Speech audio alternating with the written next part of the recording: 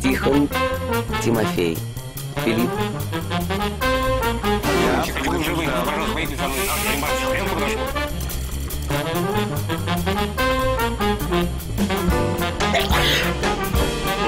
Дедко 3. Друзья, мы продолжаем программу «Дедко 3» в студии Тимофей Дедко и Филипп Дедко. И мы собираемся обсудить одну из важнейших, если так можно сказать, сегодняшних историй, выступлений Медведева и вокруг. И у нас в гостях Станислав Белковский, прекрасный специалист по тысяче вопросов, скажу так. Политологом вас же можно назвать? А, Вы очень правильно сформулировали, потому что политолог, как правило, является именно специалистом по туче вопросов, не имеющих никакого отношения к делу. Вот к- воп- к- к- к- по поводу вопросов, не имеющих отношения к делу. Вы смотрели сегодняшнюю встречу Медведева с Михаилом Зыгорем и его коллегами? Да, к сожалению, да. Потому что только политолог, э, имеющий отношение к туче вопросов, может позволить себе потратить значительную часть своей жизни на просмотр этого фуфла. И как- каковы ощущения, А, кроме зря потраченного времени, по всему? Да, но это ощущение было превентивным, потому что было ясно, что Дмитрий Анатольевич ничего интересного не скажет. Ибо за четыре года пребывания на посту президента Российской Федерации и предшествующие несколько лет пребывания на посту первого вице-премьера куратора нацпроектов, он, он доказал, что он абсолютно символизирует пустоту. В этом смысле Дмитрий Анатольевич Медведев является в некоторой степени философской категорией. А в какой момент у вас к вам пришло понимание этого? Или это сразу? Этой сущности. А вы знаете, мы живем в стране, которая называется Российская Федерация, где никто ничего не читает. И утрачена культура чтения. С одной стороны, не читают Библию, а с другой стороны, не читают менее ценные произведения литературы, например, книгу Станислава Белковского «Маленькое зло», которая вышла в феврале 2008 года. Если вы ее читали, вы понимали, что именно тогда и было все сформулировано. Потому что «Маленькое зло» это хорошо. А, Но оно отличается от большого тем, что оно никак не возбуждает никого. И Дмитрий Анатольевич безупречно пронес знамя этого маленького зла все четыре года своего президентства. А хотя что-то евангельское в судьбе Дмитрия Анатольевича есть. А, И конкретно моление о чаше. Потому что рокировка 24 сентября – это, конечно, абсолютно гефсиманский сад, потому что это ситуация, в которой, э, я не знаю, знаете, аудитория же «Дождя» в основном безрелигиозна. Поэтому, может быть, то, что я говорю, э, не всем понятно. Да нет. Да не, мне кажется, более непонятно. А, но, э, тем не менее, э, Дмитрий Анатольевич захотел, чтобы исполнилась не его воля, а воля отца. Она исполнилась. Хотя, насколько мне известно, до 4 часов утра 24 сентября Дмитрий Анатольевич сомневался, что воля отца является главнее, чем, э, э, главнее, чем его собственная воля. Ну, вот к тому, о чем вы говорите, если я не ошибаюсь, вы в какой-то момент предполагали, что Медведев пойдет на второй срок. Э, Вы знаете, у меня была большая тусовка людей, которые думали так же. Причем людей гораздо более информированных, чем я. Например, Анатолий Чубайс, Алексей Кудрин, который недавно заявил, что он тоже предполагал, что Медведев пойдет на второй срок. А, Михаил Горбачев, Довольно серьезная команда. Игорь Йоргенс.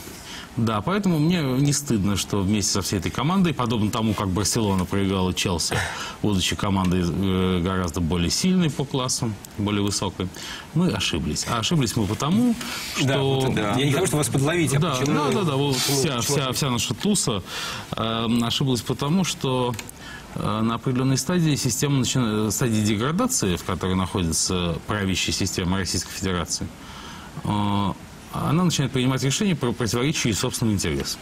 Она их и приняла, потому что если бы Дмитрий Анатольевич Медведев пошел на второй срок, то не было бы ни Болотной площади, ни проспекта Сахарова. И в этой студии вместо меня сидели бы прекрасно душные либералы, которые рассуждали бы о том, какие замечательные либеральные реформы проведет Дмитрий Анатольевич Медведев. А, и они еще звонили бы накануне своего прихода э, в эфир э, телеканала «Дождь» и говорили бы, знаете, вот желательно, чтобы в эфире не было Белковского, который скажет, что все это не так. А, да, поэтому мы потеряли 2-3 года. А так мы ничего не потеряли.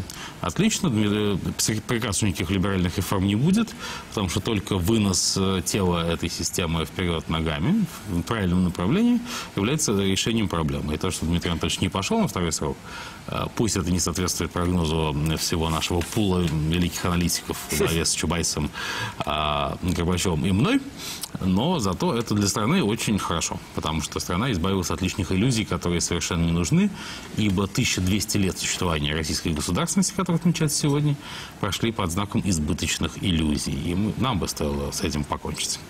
А почему вы думаете все-таки, что м, поспешили избавить нас от этих иллюзий? А, Я вам только что сказал об этом. Потому что на определенной стадии деградации То есть, система управления поняла, начинает что, принимать да. решения контрпродуктивные для нее самой. А, То есть вы считаете, что это ведет к концу системы? Вы знаете, у меня есть любимый актер Готлиб Михайлович Ронинсон, ныне покойный. А, Вы, как люди молодые, наверняка не знаете, кто это. Но если бы вам показали фотографию этого актера, вы бы сразу его познали. Его лучшая роль была Ферс в Вишневом саде в театре на Таганке, где он проработал большую часть своей жизни. Но э, народу он известен благодаря фильму «Берегись автомобиля», где он играл роль начальника э, Юрия Деточкина, то есть Иннокентия Смоктуновского. И он говорил, у товарища Деточкина много болезненных родственников. Вот у Владимира Владимировича Путина очень много болезненно относящихся к предмету партнеров, которые объясняли ему, что Дмитрий Анатольевич Медведев является идиотом. И поэтому допустить Дмитрия Анатольевича Медведева на второй срок э, достаточно рискованно. Я не могу оспорить этот тезис. Даже в эфире телеканала «Дождь», а, по-моему, вчера или позавчера, я что-то такое подобное и сказал. А, Но, может быть, э, поскольку сам формат телевидения не предполагает глубинного копания в сути явлений, а, не все поняли, что я сказал. Я имел в виду- виду литературоцентричность э, русской судьбы и политики в целом. То есть, Э, Я имел в виду, что вся русская политика в разные периоды ее истории описывается русской литературой, причем превентивно. И э, история Путин-Медведев, помимо ее евангельского характера и моления о чаше, соответственно, Достоевского. описывается Федором Михайловичем Цыковым в романе «Идиот», где роль князя Мышкина играет Дмитрий Анатольевич Медведев, а, свалившийся с Луны на российскую политическую поляну. Дмитрий Владимирович Путин играет роль Парфена Семеновича Рогожина. М, И обмен крестами, одна из ключевых сцен романа «Идиот», это, собственно, есть рокировка 24 сентября. Да, что обманули глупого барина. Крестик-то не серебряный, а настоящий медный. Хотя это не имеет отношения к обмену крестами. А, и э, Настасья Филипповна, это, собственно, Россия и есть. А, мои друзья и коллеги еще говорили, что Ганя Иволгин является концентрированным воплощением русского либерала, но мы оставим это за скобками, потому что ни русский либерал, ни Ганя Иволгин не являются главными героями русской так называемой истории. Э, Вот. э, Поэтому действительно, и если мы помним финал романа Федора Михайловича Достоевского «Идиот», э, там, там говорится, что, собственно, кто бы ни посмотрел на главного героя, все бы сказали «идиот». Ну, надо сказать все-таки, что это сравнение в какой-то степени лестно для входящего президента. Все-таки князь Мышкин вызывает, ну, скорее, скорее симпатию читателя. По крайней мере, так, так этот текст построен. А У меня Ну, тоже. ну, не знаете, Дмитрий Анатольевич Медведев вызывает меня колоссальную симпатию, а, потому что э, это молодая версия Константина Владимировича Чернявка. Это человек, который правил страной, не приходя в сознание. А мне кажется, что для сохранения психического здоровья э, править Россией так и надо. А, Я хорошо знаком с Борисом Абрамовичем Березовским, так называемым, который был моим боссом на протяжении ряда лет. И в 1999 году мы с ним сидели в доме приема Флаговаза по, по адресу улица Новокузнецкая, дом 40. А, Это было в период программы Доренко, и когда была история с суставом. Помните, об Евгении Максимовиче Примакове? Да-да. Тоже, может быть, не все это помнят. Да нет, потому что это, это помнит. А Вы очень хорошо относитесь к... э, Борис Абрамович вам ответил следующее, что когда Евгений Максимович Примакова уволили с поста премьер-министра Российской Федерации, выяснилось, что 24% россиян не знали, что он им был. А, И Борис Абрамович, э, скучая, э, сказал мне, знаешь, старик, чем принцип Березовского? Никогда не читай ничего про себя и не смотри ничего про себя. И только так ты сохранишь психическое здоровье. Я думаю, что Борису Абрамовичу это удалось в полном объеме. Смело заверить. В отличие от меня, потому что я все-таки иногда что-то читаю про себя и про себя смотрю, хотя предпочитаю футбол. А в футболе нифига связанного со мной, к счастью, не происходит. Ну, пока вы не играете в футбол, да. Если мы говорим про, про, про встречи, про встречи с прекрасным, то э, вам приходилось общаться и со всеми, участ... со всеми, со всеми фигурантами нашего сегодняшнего разговора. Э, Нет, с Дмитрием Анатольевичем не приходилось. Но верите ли вы в версию, которую высказал в интервью газете «Ведомости» Андрей Бородин про э, Это Андрей пенс- Фридрихович Бородин? Да, он самый, Андрей Фридрихович, который Банк Сколько Москвы. прусской государственности в этом Фридрихович? А, про пенсионный фонд а, маленького человека. А там сказал Но он сказал, Фридрихович, что. Фридрихович сказал, что ряд сделок а, з- э, заключался в интересах А, да, да. Юсуфовым и еще кем-то в интересах Медведева. Да, да, это так оно и есть. Потому что Дмитрий Анатольевич Медведев э, имеет болезненное тяготение к дагестанцам. Я очень хорошо отношусь к дагестанцам. А, но э, еще лучше к ним относится Дмитрий Анатольевич Медведев. Вы имеете в виду Юсуфова и, Я имею в виду, Керимова? ну, Виталий Юсуфов – это дагестанский еврей, он же Тат, э, уроженец Дербента, но, тем не менее, он может считаться по российским канонам дагестанцем. А, Сулейман Керимов, братья Магомедова. Да, они действительно очень занимались бизнес-вопросами Дмитрия Анатольевича Медведева. Единственное, чего эти люди недооценили, это то, что, того, что Дмитрий Анатольевич Медведев не в состоянии провести ни одно решение до конца. Просто Надо потому что он- просто- просто- нет, нет, а просто потому что он летает в облаках. А, он как бы подписывает какую-то бумажку и думает, что все это будет выполняться. То есть он все-таки не, э, не Мышкина, а Манилов такой. А, Да, построим мост, собственно, мы с Павлом Ивановичем, да, так сказать, это и, да, и модернизация, государ- оно и есть государ- Нет, ну модернизация это вообще какая-то ерунда. А, Ясно, что ее не будет. Я очень рад, что вице-премьером по модернизации назначен Владислав Сарков, потому что это еди- единственная позиция, на которой он не может ничего испортить, поскольку портить нечего.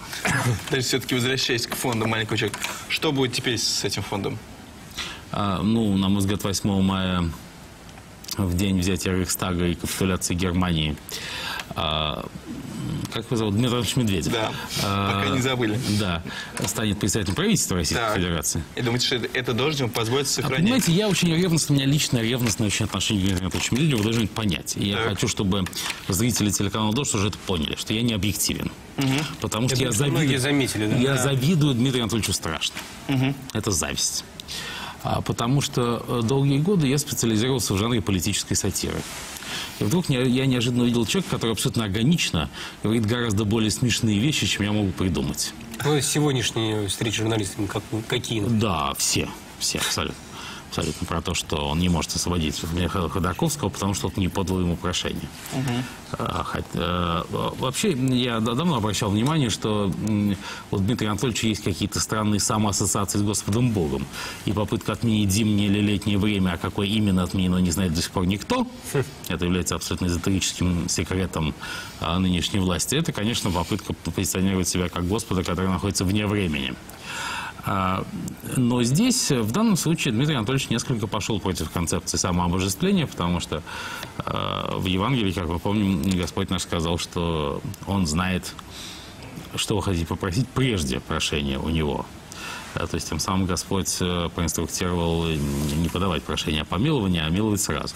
Но то, что э, Дмитрий Анатольевич э, хочет подождать, пока его попросят, говорит о том, что он э, совершенно не понимает смысла слов политика и истории. А потому что если бы он понимал смысл этих слов, он бы понимал, что он вошел бы в историю и в политику, только помиловав Ходорковского, ибо все остальные шансы свои за 4 года он, к сожалению или к счастью, уже упустил. С этим сложно поспорить. Мы уходим на короткую рекламу. Вернемся через полторы минуты.